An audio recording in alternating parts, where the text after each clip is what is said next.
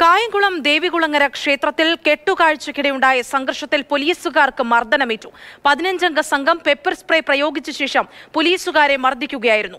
ഇന്നലെ രാത്രിയുണ്ടായ ആക്രമണത്തിൽ മൂന്ന് പേരെ പോലീസ് അറസ്റ്റ് ചെയ്തിട്ടുണ്ട്.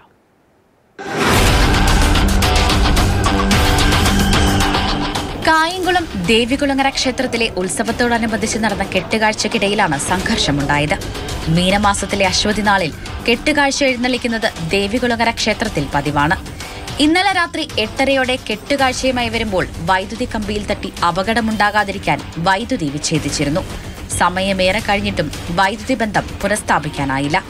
ഇതേ തുടർന്ന് കെട്ടുകാഴ്ചയുമായി വന്ന ആളുകളും പോലീസും തമ്മിൽ തർക്കമായി. തർക്കം കയ്യാങ്കളിയിലേക്കെത്തി. കുരുമുളക് സ്പ്രേ പ്രയോഗിച്ച ശേഷമാണ് പോലീസുകാരെ അക്രമി സംഘം മർദ്ദിച്ചത്.